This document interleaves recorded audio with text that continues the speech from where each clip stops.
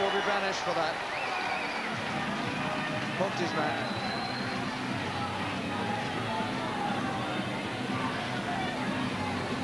And I can't just believe this. This is just the self-destruct button. Yeah, just everybody wants a chance to sit in the penalty box, it seems to me.